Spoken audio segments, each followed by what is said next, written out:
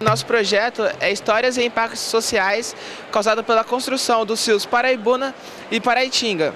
Em Paraibuna, a gente tenta valorizar mesmo a história e a identidade das pessoas que sofreram com esses impactos, tanto sociais, ambientais e econômicos também né, no município. Estamos tentando criar um espaço para a valorização dessa identidade mesmo.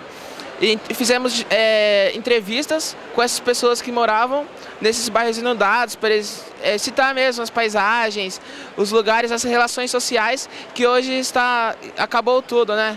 E complicações nas negociações também, que foi bastante precária para eles. Teve que sair corrido e foi, causou bastante problema mesmo nas populações desses municípios atingidos, que foi Paraibuna, Natividade e Redenção da Serra e criamos um documentário para mostrar para esses municípios também.